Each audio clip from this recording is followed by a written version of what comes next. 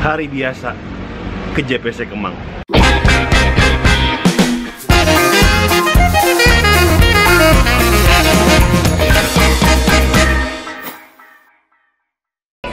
Hari ini mau beli lensa kesukaan sejuta umat cah Sony. Ini 2470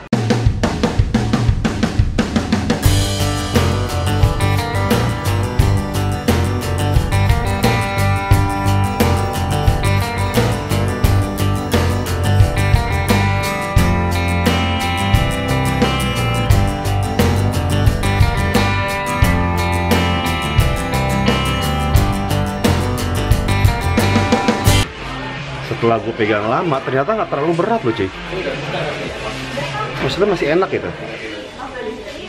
Nggak seberat lensanya 1635 Sony itu berat banget cuy. Lo kalau mau satu tangan pakai pakai lensa 1635 itu mesti Agung Hercules yang megang. Skut sekarang mau ngetes nih yang namanya lensa Sony 2470 f4 sekut abis. Jadi kayaknya ini lensa ini tuh cukup mewakili semua lensa gitu kan. Tinggal bawa satu lensa ini sama satu lensa fix lah. Ya sama satu lensa wide lah. Jadi nggak praktis dong. Pokoknya lensa ini tuh ya 2470 tuh udah lumayan cukup mewakili. Coba coba coba coba. Uh, autofokusnya autofokusnya nah ini dia. Autofokus autofokus boleh cek autofokusnya coba di 70 mili nah di 70 di 70 mili ini bokehnya asik banget nih cuy. Ega sekut habis.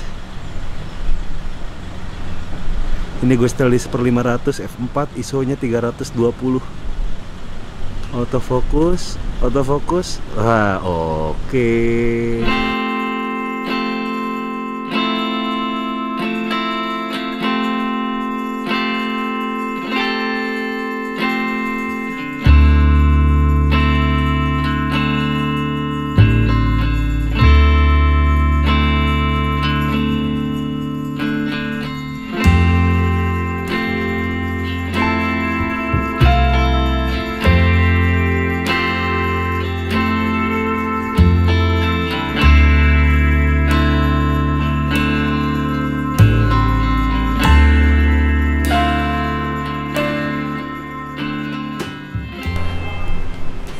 Nah itu dia, gue udah nyobain lensa ini. Dan menurut gue lensa ini autofokusnya keren, terus uh, apa namanya stabilizer juga bagus, terus nggak uh, berat-berat amat. Ya lumayan lah. Nggak bikin tangan lo jadi kayak Popeye gitu kan, gede di uh, lengannya gitu.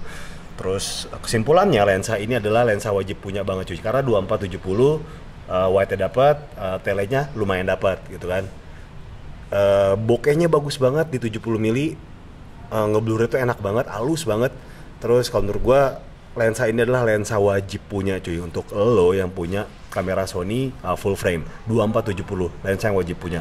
Sisanya lo mau pakai lensa lain juga boleh mau lensa merek Lily Kasum ke atau lensa kontak ke yang biru yang merah yang hijau gitu kan kayak soft lens terapis pijit gitu kan ya bebas gitu. Tapi yang pasti lensa ini wajib punya kalau lo punya kamera Sony full frame. Skut abis cuy. Kamu kenapa merenung? Bayar kontrakan ya? Buka komputer Satya Permana ternyata Facebooknya belum di log out nih. Hmm, enaknya diapain ya? nice, nice, nice, nice. Mari kita berkreasi. Yeah.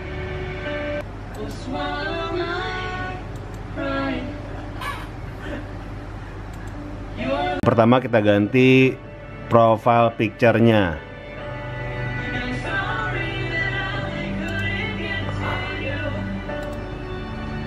Temanya adalah cowok murung.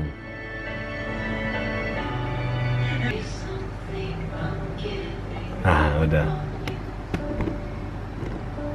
Ah. Gambar adalah cowok murung.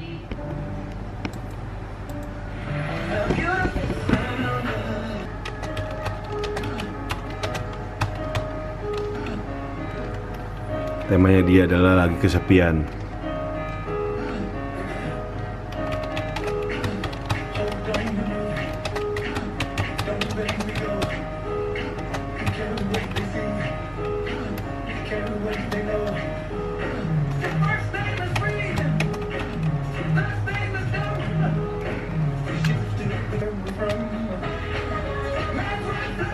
Inggrisnya disalah-salahin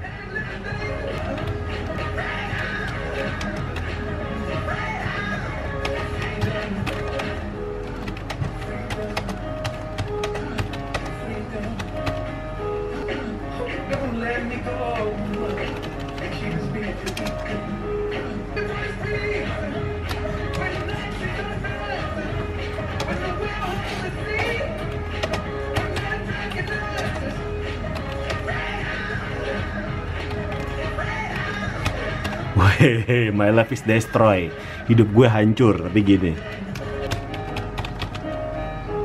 Push.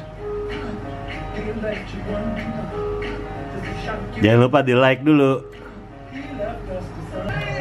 Nice pose. Aduh, jatuh.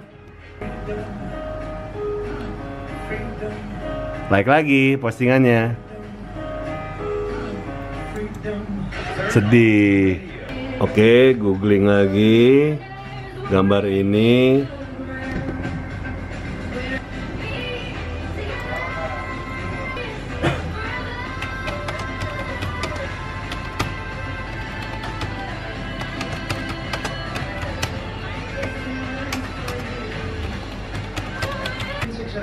Perpisahan dulu pamit. Nah, yang kemarin dalam sebuah wawancaranya dia berani saya nggak ngerti mungkin harusnya namanya eh, James Bronwati mungkin ya tapi katanya udah nulis perpisahan, kita tulis lagi. I'm back.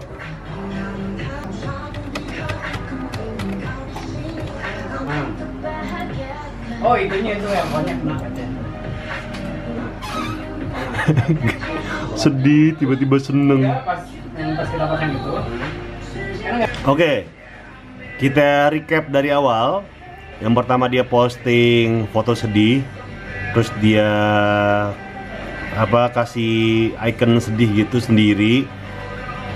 Terus yang kedua dia nulis puisi dengan sentence yang sangat canggih.